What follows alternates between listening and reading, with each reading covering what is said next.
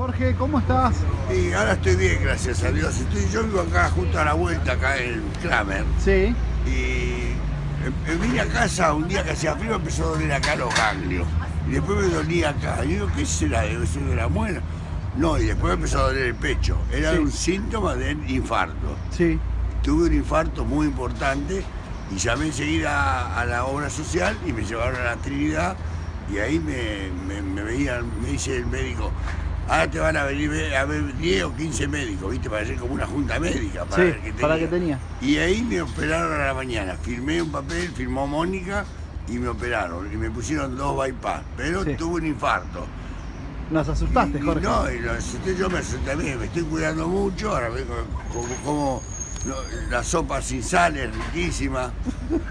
Galletita sin Mirá. sal también. Te digo una cosa, le digo a todos los de Primicia allá, soy tan optimista que tuve un infarto y para mí fue una corazonada. Pero hay que cuidarse, hay que cuidarse en las comidas, en todos los remedios, tomar todos los remedios horarios, si no, chao, la verdad que en cualquier momento, si la gente se muere para ir al cementerio, entonces hay que tomarlo la vida, hay que tomarla con alegría, no hay que pelearse, no hay que tener problemas. ¿Me prestás 100 pesos? Jorge, ¿cómo ves la temporada de verano? Y Un hombre con- ya experto en Con temporada. mucho calor. ¿Pero vas, crees No. que va a estar va a Y va a funcionar ser, bien? en el año 2001 yo trabajé bien y había, había avisado a la gente. Si le gusta el espectáculo, va a ir a verlo. Sí. Y lo que hay que hacer es espectáculo ahora de poca gente, porque Claro. mucha gente, los gastos de alquiler, de la comida, ya no hay más canje como antes. Cambió mucho, la, la- hasta el humor cambió, ahora son distintos los humores. Sí, sí. ¿Entendés? Ahora han cambiado tanto todo que son todos distintos. Sí. ¿Eh? Por eso hay que.